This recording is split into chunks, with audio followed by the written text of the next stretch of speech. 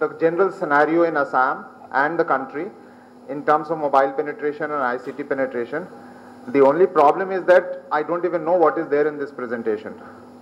So Ritu has made this presentation and asked me to make a presentation. So let's see, you know, how much I can I can really get you into this. But uh, before I start, let me also tell you uh, that while Dr. Ajit was in the beginning saying that mobile is becoming uh, a part and parcel of our life and it is so much dependent, uh, we still have a bad news that 72% of women of India do not have mobile. I'm just giving you a perspective, you know, uh, and if you go rural, it can even increase. This is a broader scenario. Having said that, mobile is still the largest penetrating medium in the hand. There is no doubt about it. If you compare with any other medium, from paper to TV to radio to internet to any medium, any any medium you pick it up, mobile is still the highest penetrated uh, medium. So uh, generally, you know, the, Assam is no different. You know, most of our country lives in rural India. And when we are talking about the entire social and behavioral change, we are broadly talking about the scenario that we are, you know, what we have in rural India.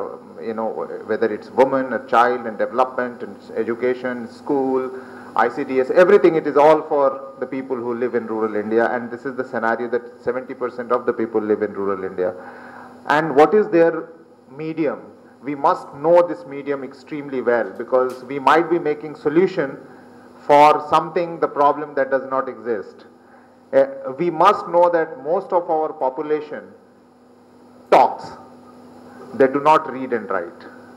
So our medium of uh, instruction, consumption and production is oral you know and that is one of the reason why tv penetrated so fast that is the reason why mobile is being liked by people because it gives you a chance to talk you know or listen it doesn't ask you to be literate first you know any paper i give anybody's hand in the rural india they won't read it because they're not literate enough to read it so oral medium is the medium of the masses you know it is it is the mass medium it is also the most natural medium you know this is what you are born with you speak or listen. This is oral medium.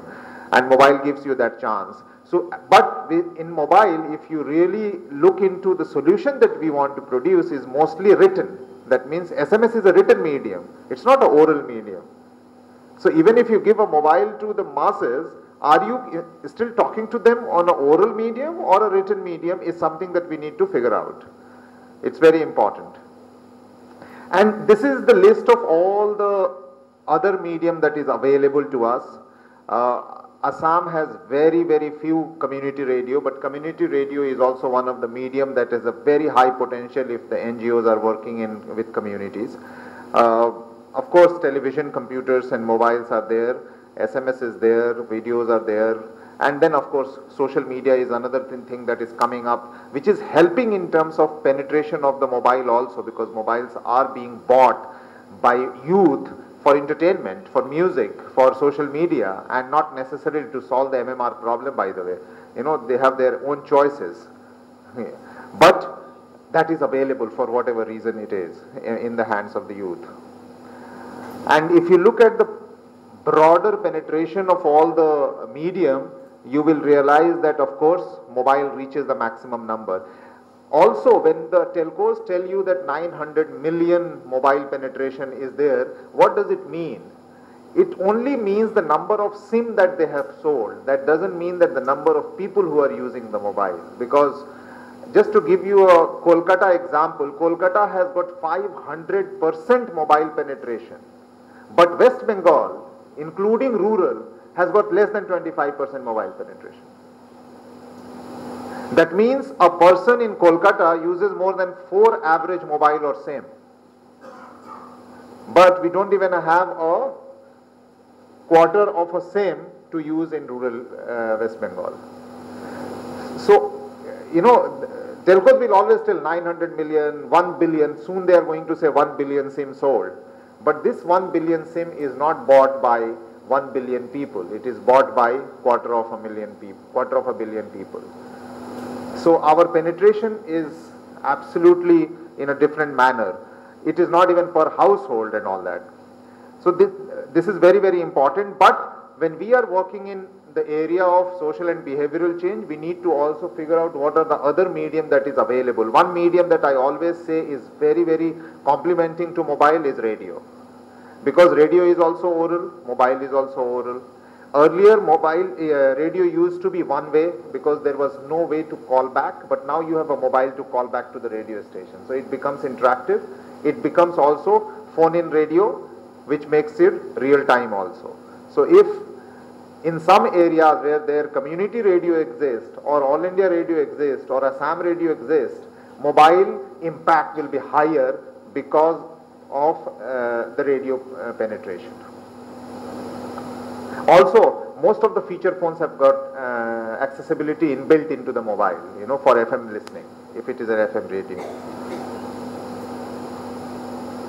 So as I said, 90% of Indians are also not connected to the broader what you call as the data-centric uh, internet-related uh, information. So panchayat scenario is the same, you know, we have huge amount of uh, number of panchayat and panchayat members, they are not connected, they are not literate. We have a huge number of grassroots NGOs which are not connected. So these are all very pessimistic scenario that I am giving you to understand that when you are planning to do something, you also should know what are the scenario on the ground. You know, we always take it for granted many things and develop the application. Application should be made according to the availability in the local ground. Schools, we always say schools. Most of the time you will hear that the politicians, because of the um, attraction of elections and all that, they will say laptop free distribution or desktop free distribution. But that is good for nothing. What will you do of a laptop if teacher doesn't go to the school? But the same amount, if you spend on distributing a smartphone to the teacher and tell that every time you go to the class you have to click a button and report back with a selfie, saying that you are in the class or not because it will give you a report of the location. That means you go to the classroom. And when you enter and when you get out, that will solve huge problem on a very cheap manner. Teachers are lesser than students, always. And classrooms are even lesser than even teachers. So is that the number of mobile that is easy to buy or the number of students that you are distributing the laptop is higher or lower?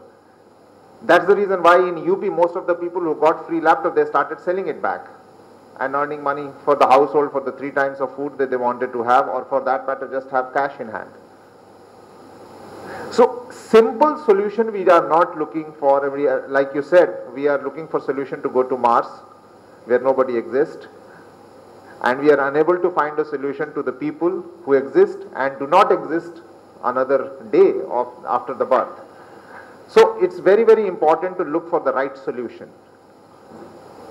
Reporting is, is a serious issue. We are getting all the reports which does not exist. So that's the, and, and mobile enables you to have a location inbuilt into it. You don't even have to click for a location. If you have a GPS inbuilt into it, you click of a button, it will automatically take the location. That means I know the person is in the class. And then it becomes very difficult that you go to the classroom and do not teach. That's another level of, of course, corruption that will happen. Every 45 minutes you will go to the classroom, click and send and do not teach. But it's at least some level of, you know, betterment will happen. Sorry.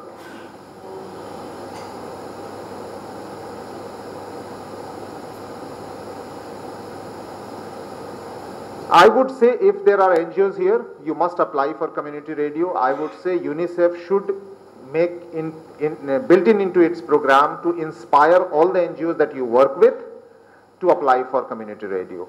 I'm a member of the licensing committee of uh, uh, community radio. I would encourage all good NGOs who work with the community to must apply. It is very effective medium, very cheap medium and it complements with mobile. So, and UNICEF invariably works with lots of NGOs for implementation of various projects. So it, it may be uh, very, very worthwhile to, you know, inspire them to apply and we can give more information on that. So when we are going into the discussion, we should also layer our information in terms of PHCs, CHCs, SHCs. You know, it's not The same thing to work with PHC. It's not the same to work with SHCs. It is not same to work with CHCs. The numbers differ, the level differs, and therefore the people who handle those centers differs. And if at all it exists. And then the Anganwadis and so on and so forth. So just keep in mind that, you know, when you are going to have a discussion, what is the level of discussion that we are doing? Who is your target group? What is the level of any medium penetration to them? These are all national figures that we have 85,000 PHCs. We have, you know, 1.8 million women work at, as uh, Anganwadis. 1.8 million, it's not a small number. If every one of them has mobile, we can really make it work effectively. The figures I have already told you that, you know, internet figures in India is very poor at the moment. We do not have more than 15 to 20% penetration. Mobile penetration, as we know, is higher, but not higher among the women. Also, decision making is not given in the hands of the women to use the mobile if they have it they are not the decision maker in terms of buying. They are not the decision maker in terms of usage. They are not the decision makers in terms of even taking the phones and all that. There are another layer of hierarchy that uh, plays there. So all those things are also important. And therefore it is it is important to see the institutional manner with which we can target the group. Targeting the people is always difficult. Targeting institution is always easy. And accountability is always higher when I say institution, I say grassroots level institutions are the schools, the panchayat, the NGOs, the SHGs, the PHCs, the CHCs and so on and so forth. Anganwadis.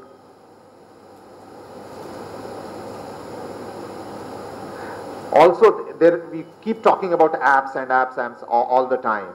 Is app is the right solution? Or helpline may be the best solution.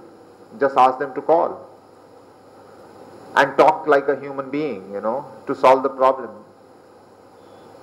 We have lesser uh, helplines and more IVRs, which is very automated and, you know, very intimidating also for any woman at the grassroots level to make a call on IVR number, where the machine starts replying to you and talk to you and we do not even decipher what to do the next.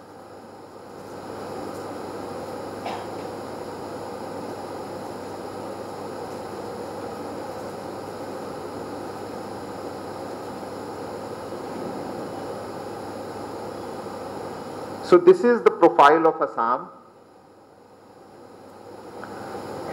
I would say one of the high rates of literacy here. We still have, as I told you, rural population here. It says very clearly that it's more than 70%.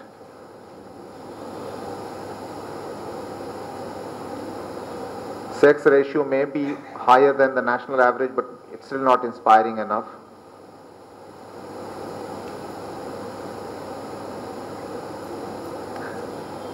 We still have almost 35% women illiterate in the state. And I'm sure these 35% are the same women whom we are targeting, actually. These are there. So that means in our area it's 100% illiteracy. The people who we are targeting to work is almost like functional, if not literacy, at least the functional illiteracy.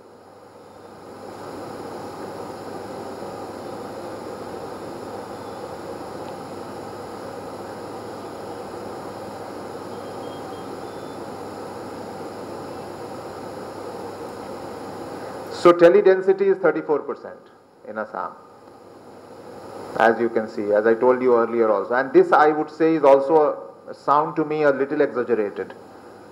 Actually, it will be lesser than this.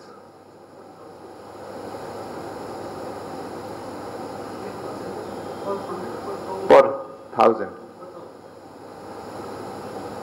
No, tele-density is always percent, right, Amitabh? Tele-density is also per, always percentage, right? Percentage, right? Yeah. This is individual.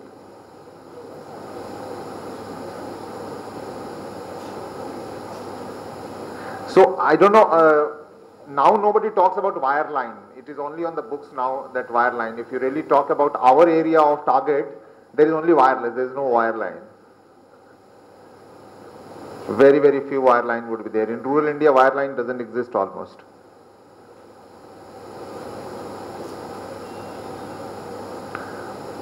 We have these kind of service provider, BSNL, Tata mostly. Is this right or we have other service provider also? We,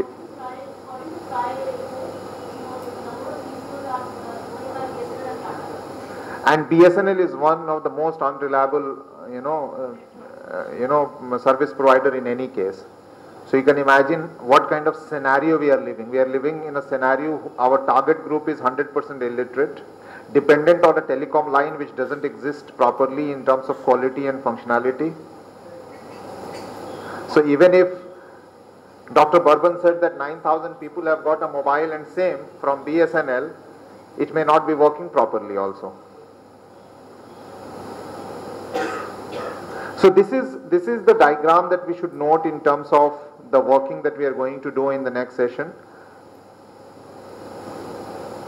What is our issue? Our issue is information dissemination, our issue is community mobilization, our issue is interpersonal communication, our issue is training of frontline workers or advocacy and outreach, monitoring and tracking. What are we looking at in our department or all of them or some of them and how mobile can be utilized and how the application can be developed for that mobile to reach your target. So this, this diagram or this head is very important for you to make a plan in the next session. And these are some of the options which will help you to plan. When you talk about, let's say, information dissemination or monitoring and tracking, what are you talking about? So this is some guidelines. The next one. Are you talking about creating a helpline, voice calls, SMS, video calls, video messages, flash messages, IVRs, community broadcasting, community dashboard, GPS, what? These, and these are just the small, small part of the laundry list that you can create among yourself. But the game is information. At the heart of it, it's all about information, whether it's a monitoring related or dissemination for empowerment or the training and capacity building or getting something from them to make your plan better.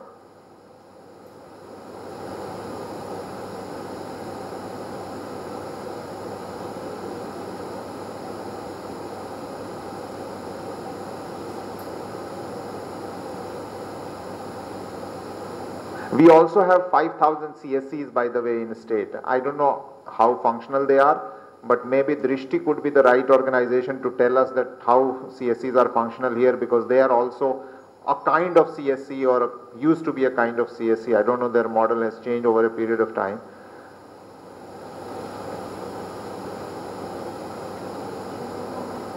Is it true that we have 5,000 schools, 5,397 schools here in Assam? I, it seems that it should be much more than that. Isn't it? And Dr. Ajit may be knowing or Veena may be knowing. This looks to me a little less. The schools in the state.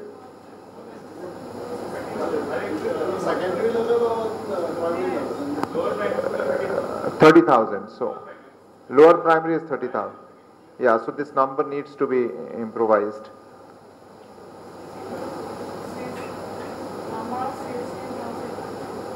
So our constituency of work is block level, so we should know how many blocks are there.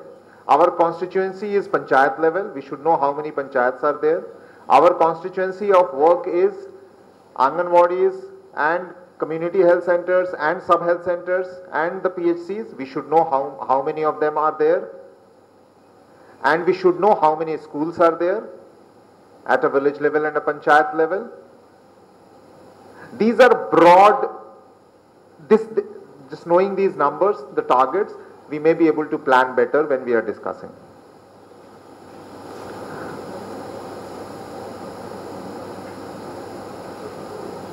And there are some cases that you will hear during the day. I don't want to talk about them. Nazdeek is one which is a very small uh, pilot that has been done in a, in a tea garden uh, with the women workers there. And that's the end of the presentation for me. But let me know if you have some questions, you would like to ask something. Would you like, uh, you like to expect to have a discussion, please be free and ask. So, like we, uh, we just saw uh, you were talking about community radio. So we have you know uh, a UNICEF supported community radio here in Assam based in Dibrugarh which is struggling with the licensing process. You, I'm sure you must be aware. You are also involved in uh, you know, at the national level in the licensing process. I don't know. Closer to your mouth. Yeah. yeah, I'm saying that we are since 2009 we are struggling uh, to get the uh, licenses clear for the community radio which is here in Dibrugarh supported by UNICEF. So you know when we are encouraging NGOs and uh, other uh, agencies to again uh, uh, try and get into the area of establishing a community radio, I don't know to what level it is practical. Of course a very good idea but uh, the experience has not been uh, uh, very encouraging in our state. So even Alka, as you know, is a member of the licensing committee yeah, along yeah. with us. Uh, many times even we can't help because of the five ministries uh, clearance that is required for each licensing. But to be very frank, recently in some of the clearances of the license, we have given many uh, licenses to Assam and even one in Nagaland, I guess we have given. So, you know, certainly northeast and many areas are considered to be difficult areas from the security perspective. There is always this hesitation to give license to such areas. But it is increasing day by day, you know. That doesn't mean that we should stop trying and all that, especially the people who are very close to the town or not in a very border areas or something. I don't see that uh, there should be a problem, you know. The problem is much lesser than past. Yeah, see, for colleges and universities, it is. No, I'm not talking. I'm talking about NGO only. Yeah. We have given to NGOs. Yeah. NGOs, I don't think here in. I can give you the list of the NGOs that we have given in Northeast. Because even BCRS, Brahmaputra Community Radio Station, has received various stages of uh, license, but we have not reached the WOL. We are struggling for the WOL for last three years. Uh, and that is that is not because of Northeast only. In fact, in the last couple of years, community radio license, the last stage of licensing has not been given to any of them. In fact, there was no licensing in the last one and a half year, but now it is again opening up. No, I'm not saying it is region specific. I'm yeah. just talking about the overall scenario. Yeah, yeah. It, it is challenging. Yeah, it is challenging. There's no doubt about it. I mean, our number we wanted to have 500. By now, we have only just less than 200. But it's increasing now.